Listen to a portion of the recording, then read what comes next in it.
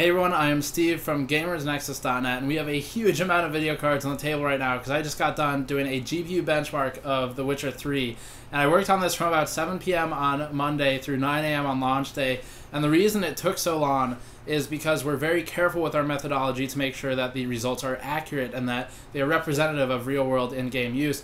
Part of this includes developing a custom in game benchmark where we look for various objects in the game that reflect the game's settings. So there's a lot of settings in the game uh, water quality, grass density, things like that, chromatic aberration, and I try to include those different elements of gameplay to ensure that it is actually reflected in the benchmark. We also do multiple test passes to eliminate outliers and then average the results. And further, I collect data on average FPS, 1% low FPS, and 0.1% low FPS. The percentages are basically the 99th and 99.9 percentile frame rate results within our 30 second testing period. And these represent dips and stuttering and very jarring experiences to the user. So these are important numbers that can show when the game will noticeably stutter while you're playing it, and it, creates sort of a hiccup in the environment where it looks like the game briefly hangs onto a frame a little bit longer than it should. So that's one of the things we're collecting data on in these results. The Witcher 3 has a lot of settings that aren't normally named in games, so there are some new settings here. And it's not quite as complex as GTA 5's very deep settings, but definitely worth going over them briefly. And I'll have a full optimization guide online after this. For a brief overview of the settings present, a few of the unknown ones are in the post processing effects tab, and these would include things like chromatic aberration, which is a photography term, and it applies to The Witcher 3. You can enable it or disable it quite simply. And chromatic aberration is an effect that exists in photography that is resultant of the lens and how it interacts with the light. It's when the lens has difficulty getting the color correct and focusing on a certain uh, color wavelength when you're shooting a photo. So in the game, this will be present mostly when looking at light coming through windows or light shimmering around objects due to various types of backlighting. And that creates a sort of glow around the object and it makes it look a little less in focus. And this is actually intentional. It, it creates a cinematic effect. This isn't something you would really see in the real world. It's not something you see without a lens for the most part. So it is definitely more cinematic and less realistic in that instance. But you can enable or disable it. Uh, it does not have a huge frame rate impact from what I've seen so far, but I haven't finalized those tests. There are also things like vignetting. Vignetting creates a soft shadow around the center of whatever is in focus. So it creates a, a darkness around the focused object. And then you've got depth of field, which we've discussed before. DOF is another photographic term. It creates a uh, level of depth and layering to your shot where there's a bokeh effect around the subject that's in focus. So if I'm in focus right now, if we had a, a lens with better depth of field on this camera, this wall would be more blurred out. These video cards might be partially blurred out, and then I would be the most in focus. So that gives you an idea of what happens. And this is visible in the game as well and in GTA 5. Bloom is another one. This one has been around for quite a while, made a big showing in Far Cry in the past. And Bloom creates a shimmering effect around heat or light sources. So in The Witcher 3, a good example would be fire. If you have an open flame and you have Bloom enabled, you'll see a slight shimmering over the fire, and that's all that really does. It's just a filter, and all the post processing effects are applied as a filter atop the already rendered uh, objects, models, polys, things like that, and it just sort of affects how you view the game through the viewport, so to speak, of the character. In terms of performance, The Witcher 3 was actually fairly poorly optimized, as you'll see in these charts, and it ran not that great on SLI 980s, on a Titan X, all the way down the range. Definitely does not run too well on AMD right now. Note that for these tests, we had the newest NVIDIA drivers, and we tried to use the beta AMD drivers, which are still ancient, so to speak, in terms of drivers. They go back to uh, GTA 5 or before that even. So the latest AMD drivers are not optimized for The Witcher 3, and at the time of filming, there are not new drivers that are built for The Witcher 3. So these charts, the numbers will change when AMD does actually optimize their drivers for the game. To this end, when trying to use the 15.4 drivers, the beta ones, we found that there were issues detecting some cards. There were other issues with crashing, things like that. I had to roll back to the most recent stable drivers, which are very old. I think they're December, and that's just because AMD hasn't updated in quite a while. Uh, likely due to the new video cards coming out soon, that'll probably get the biggest push. But NVIDIA had game ready drivers, so you will see a performance boost there.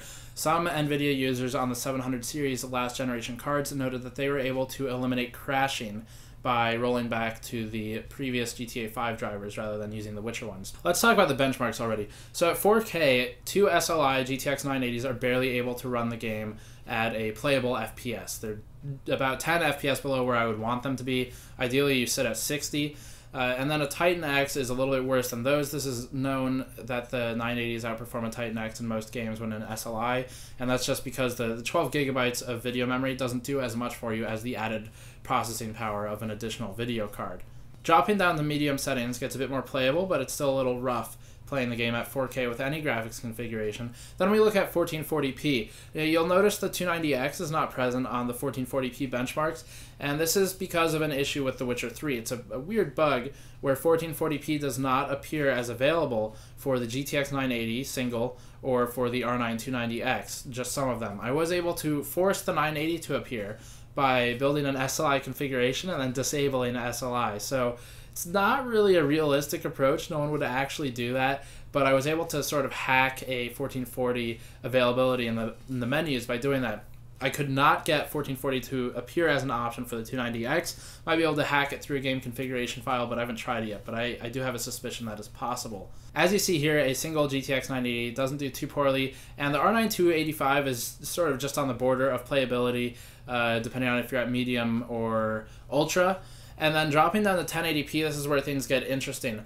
1080p with Ultra, the 980 can barely push 60 FPS average, and that's the average frame rate. That's a very expensive video card to play 1080p Ultra.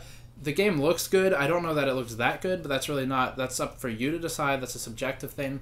But when we look past the 980, the 1% low and 0.1% low FPS that I was telling you about are tanked by the graphics settings. You can see that some of these cards, the 980 included, are getting 14, 17 FPS for the lows. And this means that you're getting very noticeable as a user jarring when you're playing the game, so you'll get a, a stutter every now and then. Each of these tests is 30 seconds long, and I repeated them several times. Within that 30 seconds, I would notice the stuttering at least once.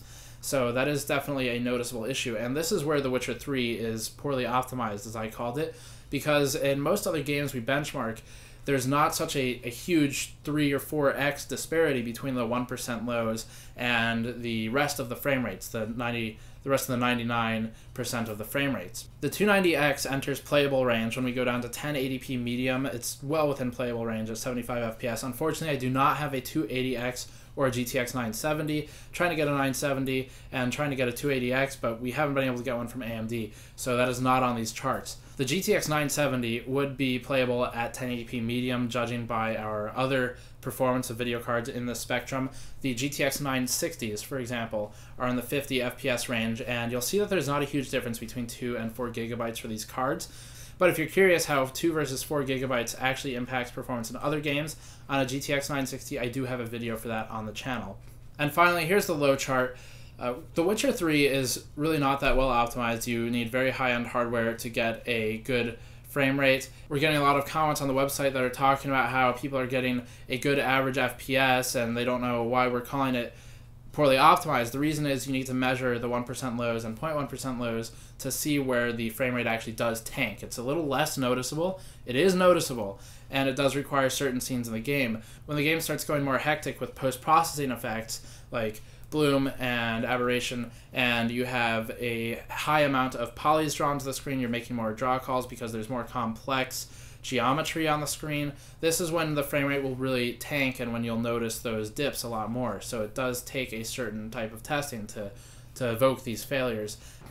So that is all for our Witcher 3 benchmark. If you like our journalistic approach to things and my efforts to keep everything objective and eliminate a lot of the marketing heavy stuff on YouTube and on some websites, then please consider looking into our Patreon campaign. This is a new effort we're starting up to help fund better equipment. We're building a video set, so that's pretty exciting to have a proper set. Buying some studio lights so I don't have to use these uh, strategically placed lamps just out of shot and a blindingly bright camera light. So things are going pretty well for the channel, and that because we have great fans who have lately been very vocal on the comments, and you guys are great at telling us the things that you like so that I can make sure we keep doing them, and I appreciate that very much. So again, check out the Patreon campaign. Please subscribe to the channel if you like this content. Check the article for more, and I will see you all next time.